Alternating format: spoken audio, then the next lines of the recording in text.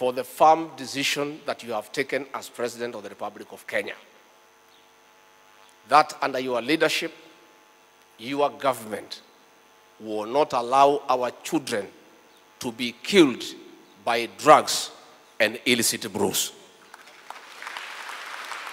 Nataka nikupongeze rais.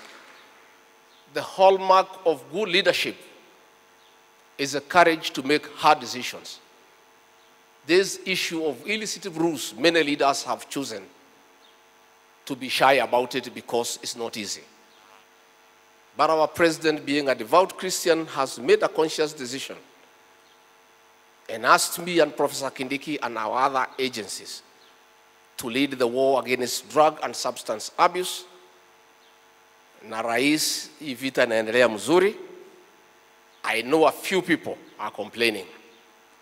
The ones who have been manufacturing and distilling poison disguised as alcohol wamekuwa wakilalamika ya kwamba walifanya makosa kuchagua rais na makamu wake ambaye hawatumii pombe, lakini on the flip side 98% wanasema walifanya vyema kuchagua rais na naibu ambaye hawatumii pombe.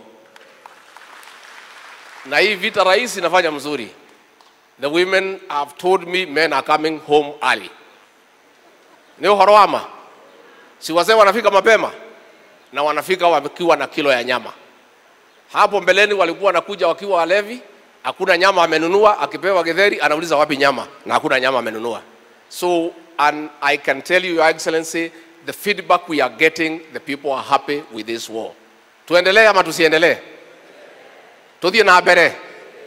I want to take this opportunity to ask the Anglican Church of Kenya to join the government in this war. Archbishop and your bishops Please, we cannot succeed without the church. We can only do so much. But there is so much other work to be done in terms of mentorship, in terms of counseling, so that our young people can see the need to stay sober and go to work. With those